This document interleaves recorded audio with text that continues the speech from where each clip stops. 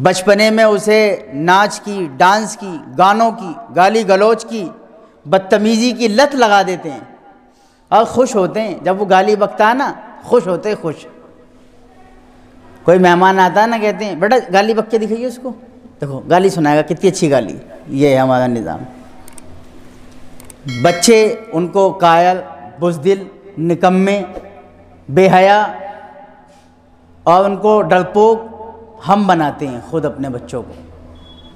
बच्चा छोटा होता है, वालदेन की नमाज़ जनाजा नहीं पढ़ ले। और उनका कोई गुनाह नहीं है। वालदेन के ऊपर औलाद के तीन हक़ हैं। जब वो पैदा हो जाए, उसका बेहतर नाम रखना। हदीस में अल्लाह के नबी सलाम ने फरमाया कि तीन हक़ हैं वालदेन पर, चौथा कोई हक़ नहीं है। अगर तुम अपनी तरफ़ से करो तो नेमत है। उस पर, उसकी गर्दन पर एहसान है। और करते वो हैं जो हक़ नहीं है। और करते वो नहीं है जो हक़ है ये सबसे बड़ी कोताही है। इसलिए मुआशरा बिगड़ रहा है। वाल, औलाद वालदेन को आँखें दिखा रही डांट रही है डपट रही हैं तेज़ आवाज़ से बोल रही हैं और झड़का रही हैं। माँ को कदमों में रोंद रही हैं बदतमीजी बोल रही हैं। बाप बिस्तर पर पड़ा पड़ा रो रहा है और मर रहा है। बुज़ुर्गों दोस्तों अज़ीज़ साथियों अल्लाह सुबहानहू व ताली ने ज़िंदगी गुजारने का निज़ाम इतना साफ़ सुथरा बनाया है। जिस निज़ाम को अल्लाह ने बनाया है, क्या वो निज़ाम ख़राब हो सकता है? क्या उस निज़ाम में कोई कमी हो सकती है? क्या उस निज़ाम में कोई कजी हो सकती है? क्या उस निज़ाम से लोगों को फ़ायदा नहीं होगा? क्या उस निज़ाम से लोगों को नुकसान हो सकता है? अगर हम निज़ाम पर चलें और फिर हमें कोई नुकसान हो, अगर हम अल्लाह के बनाए हुए निज़ाम को अपनाएँ, फिर हमें कोई नफ़ा न हो, तब कहने वाली बात है। जब हम अल्लाह के बनाए हुए सौ फ़ीसद निज़ाम पर दस फ़ीसद भी नहीं चल रहे हैं तो फिर उसके साइड इफ़ेक्ट, उसके नुकसान तो होंगे ना यकीनी तौर पर। अल्लाह सुबहाना व ने घरेलू निज़ाम इतना अच्छा निज़ाम बनाया है। हर एक के ज़िम्मे अल्लाह ने कुछ काम और कुछ हकूक़ रखे हैं। कुछ जिम्मेदारियाँ रखी हैं, कुछ काम रखे हैं, कुछ नीयतें रखी हैं कि आपको इस तरतीब के साथ ज़िंदगी गुजारनी है। रिश्ते बनाए हैं, कुरान में भी उसका ज़िक्र किया है। कि ये रिश्ता है, ये दामादी रिश्ता है, ये ससुराली रिश्ता है, या मियाँ बीवी का रिश्ता है, या बहन भाई का रिश्ता है, या बेटी बाप का रिश्ता है। इन रिश्तों में अल्लाह ने अपने हकूक़, अपने हुक्म की तकमील के लिए जो निज़ाम बनाया है, उसको अपनाना बहुत ज़्यादा ज़रूरी है। वरना ज़िंदगी जीते जी तबाह हो रही है। हमने क्या किया है? उस निज़ाम को अपनी मर्ज़ी के मुताबिक अमल करना उस पर शुरू कर दिया। अपनी मर्ज़ी के मुताबिक ज़िंदगी गुजारनी शुरू कर दी। हम भूल गए कि अल्लाह के नबी सल्लल्लाहु अलैहि वसल्लम ने हमारी रहनुमाई की है। हम भूल गए इस बात को। इसलिए फिर क्या है? फिर तो खलत मलत निज़ाम हो गया, तबाह हो गया सब। घर घर की बेसुकूनियाँ घर घर की लड़ाइयाँ, झगड़े, फसाद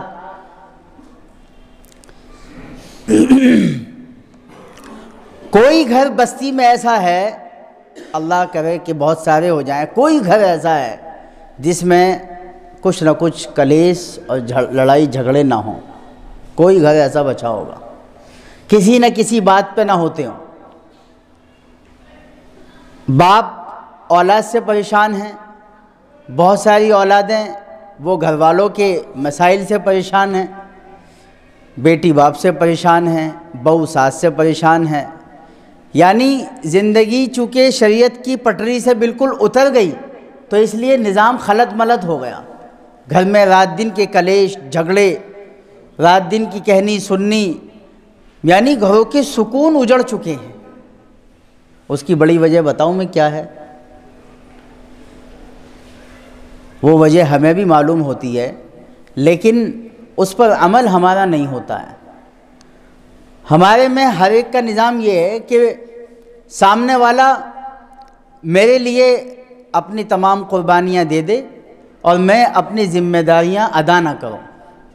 बस वो अपनी ज़िम्मेदारी अदा नहीं करता, हर एक यही कहता है, वो अपनी ज़िम्मेदारी अदा नहीं करता और सामने वाला उसकी पूरी जो है खिदमत करता रहे, उसके पूरे हकूक़ का ख्याल रखे।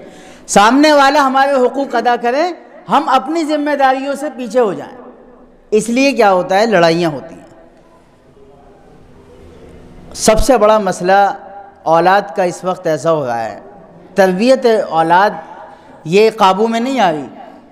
अच्छा औलाद की तरबियत हम जब करने की और करवाने की सोचते हैं, जब औलाद बड़ी हो जाती है ना और नाक में नकेल डाल देती है और लड़ने झगड़ने लगती है और परेशान करने लगती है और औलाद जब चक्कर कटाती है, तब सोचते हैं, यार इसकी क्या हो गया, ऐसे ही कैसे सुधरे कैसे इसका निज़ाम बने? जब बच्चा छोटा होता है, जब पालने में होता है, तब से उसकी तरबियत का निज़ाम होता है। लेकिन कौन करता है तरबियत शरीयत की रोशनी में? कोई भी नहीं करता। नब्बे फ़ीसद वालदेन पचानवे फ़ीसद वालदेन इससे गाफिल हैं कि अपने औलाद की सही तरबियत कर सकें। छोटा होता है ना बच्चा, दो साल का, ढाई साल का तो उसे डराते हैं। देखो देखो देखो, अल्लाह बाबा आ गया। ऊपर मत जाना, भूत। जीने पे मत जाना। पंद्रह पंद्रह साल के बच्चे हो जाते हैं, मगर बात छत पर नहीं जा सकते वो। क्योंकि डर तो हमने बिठा दिया ना, उनके दिलों में बचपन से। और अल्फाज देखिए, मैंने कल रात भी तफसीर में ये बात ज़िक्र की। हमारे यहाँ ख़ास तौर से इस हिंदुस्तान में और पड़ोसी मुल्कों में निज़ाम के दरहम बरहम होने की और मुसलमानों की पसमानदगी की, उनकी तनजुली की, उनकी तबाही की, उनके बिल्कुल ख़राब कल्चर अपनाने की, ये समझ लो कि उनकी ज़िल्लत और रसवाई की बड़ी वजह यह है, तालीम का फुकदान। तालीम नहीं है, एजुकेशन से सिस्टम से बहुत दूर हैं। अब पढ़ाने भी लगे अब दसवीं करा के ये सोचते बहुत बड़ा तीर मार दिया भाई। इंटर कर लिया बस ये समझ लो कश्मीर में हम गए। तो वहाँ बीए, बीकॉम, एमएससी ये तो आम है बिल्कुल। बिल्कुल आम है कोई नहीं मानता इनको। रिश्तों में पूछते हैं पीएचडी होल्डर है कि नहीं? पीएचडी होल्डर डॉक्टर है कि नहीं? एमबीए वगैरह क्लियर किया है कि नहीं? ये मांगते हैं। और यहाँ तो अगर पता लग जाए ना, लड़का इंटर किया हुआ है, कर लो भाई, बहुत बड़ी बात है इंटर कर रखा लड़की पता लग जाए कि इंटर की हुई है, बहुत बड़ी बात है। लड़कियों को नहीं पढ़ा रहे हमने अपने अमल से खुद दूसरों को इस्लाम पर एतराज़ और इश्काल करने वाला बनाया, अपने अमल से। वरना बच्चों, बच्चियों की, बच्चों की तरबियत करें पर्दे में रहते हुए। 24 घंटे हमारे पास दिन के अंदर, दिन और रात में। कम से कम 12 घंटे खर्च करने पड़ेंगे आपको अपने बच्चे की तरबियत पर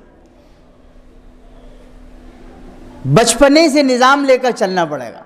हमने आज औलाद के लिए मकान का इंतज़ाम कर दिया, कारोबार का कर दिया, खाने पीने का कर दिया, ईद पे और शादी पे और ब्याह पे और आने जाने में उसके लिए बेहतरीन कोट पैंट, कपड़े, लत्तों का इंतज़ाम कर दिया।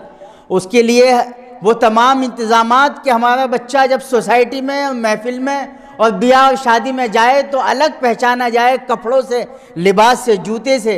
हाथ में उसके एप्पल वॉच हो, हाथ में उसके एप्पल का फ़ोन हो तो अलग ही उसका स्टेटस नज़र आया कि इतना फला का बच्चा होगा भाई ये तो। हाँ कोपर का काम तो उसी की, ये तारों का काम, उसका असर नज़र आ रहा है एप्पल का फ़ोन है इसके पास। गाड़ी, ज़रा सा पैसा इकट्ठा हुआ, बुलेट लिया है निकाल के। ज़रा सा पैसा इकट्ठा हुआ, कार लिया है निकाल के। अब लोग देख रहे हैं, यार, ये काम तो ऐसे ऐसे करते हैं, हाथ पैर काले हो रहे हैं, ये, वो, कपड़े ख़राब हैं। लेकिन शाम को नहा धो के निकलते हैं ये कार में। वो पैसे जो इन्होंने शादियों पे, गाड़ियों में खर्च करने थे, वो पैसे तो हमें इनकी तालीम पे खर्च करने थे ना। हमें इनको इंसान बनाना था। हमें इन्हें तालीम दिलाकर इसे बाइज़्ज़त, मुआशरे का एक हिस्सा और फ़र्द बनाना था। हमने बाइज़्ज़त मुआशरा तैयारी नहीं किया। अच्छा समाज और मुआशरा एक आदमी के करने से नहीं बनता, दो के करने से नहीं बनता। क्यों? समाज में, सोसाइटी में, मुआशरे में तीन मकान तो नहीं है। अब यहाँ ये, इस, ये इतना बड़ा एरिया है, इसमें तीन ही मकान है बस। तीन लोगों की ज़िम्मेदारी है कि बस वही वही अल्लामा बनते हैं और वही इमाम गजाली और जुनेद बगदादी बनते हैं। वही समाज सेवक बनते हैं। वही अल्बर्ट आइंस्टाइन बने, वही बस मुफक्र कौम मिलत बने। ये तो समाज में 400 मकान हैं तो 400 की ज़िम्मेदारी है कि सोसाइटी को पाक और साफ़ रखना, उसे सलीके से रखना, वहाँ गंदगी ना हो, वहाँ निज़ाम धर्म भरम ना हो। हमने इस पर कोई तवज्जो नहीं दी। और इसे हमने दीन का हिस्सा भी नहीं समझा। हमने कमाने को, नोट बनाने को, प्लॉट पे प्लॉट खरीदने को, संपत्ति जोड़ने को बस दीन का हिस्सा समझा। कि बस ये जोड़ लो, ये आगे काम आएँगे। खुद तो रहेगा नहीं दुनिया में, ये काम आएँगे। भाई किसके काम आएँगे जब तू ही नहीं रहेगा दुनिया में? सबसे ज़्यादा ज़रूरी औलाद की तरबियत है। हमने औलाद की तरबियत पर कुछ नहीं किया। मैं ऊपर से चल रहा हूँ। मौलवी हों, मुफ्ती हों, इंजीनियर हों, डॉक्टर हों, ये काबिल भी जो दुनियावी तालीम से आरास्ता हैं। उसके बाद समाज के लोग हों, सोसाइटी के लोग हों, पैसे वाले हों, अनपढ़ हों, गरीब हों, चलो एक बहुत ज़्यादा गरीब है, उसका तो ये मसला समझ में आता है कि भाई पैसे नहीं थे। हालाँकि उसको भी ये हमारा नारा है कि एक रोटी कम खा लो, लेकिन औलाद को पढ़ाओ। ये पढ़ाना इतना ज़्यादा ज़रूरी इंसान बन नहीं सकती। इसलिए शेख सादी ने शेर कहा था, चू शमय अजप इल्म बायत गुदाख्त, के बे नतवा खुदारा शनाख्त। फरमाया था कि मोमबत्ती की तरह इल्म के लिए पिघलना चाहिए, इसलिए कि इल्म के बगैर खुदा ताला को पहचानना नामुमकिन है। मुमकिन नहीं है, नामुमकिन हो ही नहीं सकता। और इल्म नहीं है तो इसलिए खुदा को नहीं पहचानते। और जब खुदा को नहीं पहचानते तो वालदेन के हकूक़ का खाक पहचानेंगे।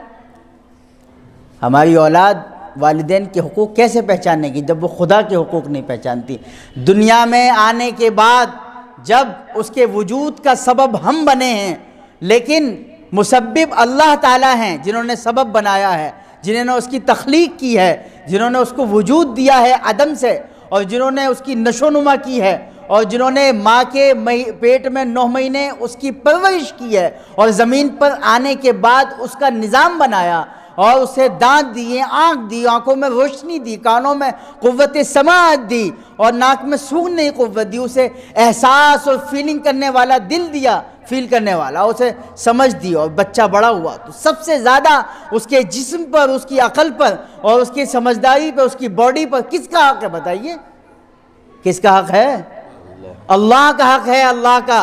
और हमने अल्लाह से उसे अंधा रखा, अल्लाह से हमने उसे दूर रखा, दीन की तरबियत और तालीम से दूर रखा।